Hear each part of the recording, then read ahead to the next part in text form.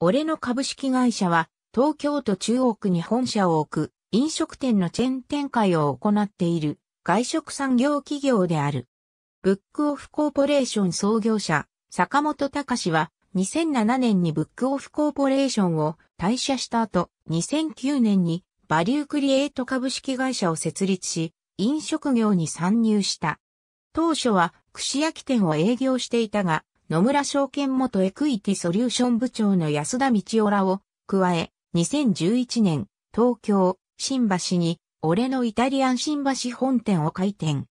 俺のフレンチをはじめとした、俺のを関する立食の飲食店業態が好評を博したこともあり、安田を副社長に、2012年11月に、俺のフレンチ、俺のイタリアン株式会社を設立し、飲食店事業を承継させた。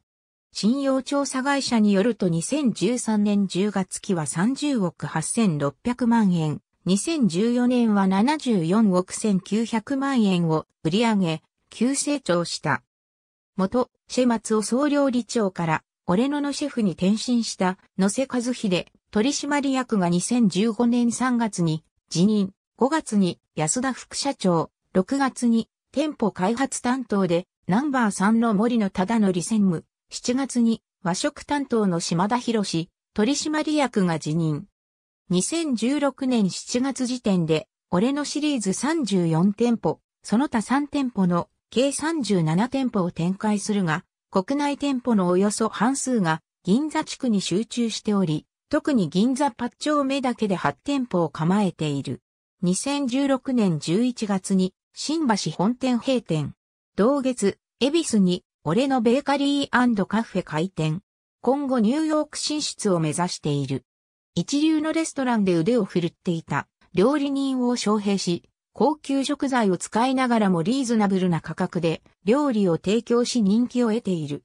立席をメインとすることにより、客の収容数を高めると同時に回転を早めて低価格を実現しており、それによって薄利多売が可能になっている。ドリンクを安く仕入れることもあって、俺のイタリアンでは原価率40%以上、俺のフレンチでは飲食業界としては異例の原価率60%以上でも利益を生み出すビジネスモデルを確立した。各店舗ともその店の料理長の名字を冠している。ありがとうございます。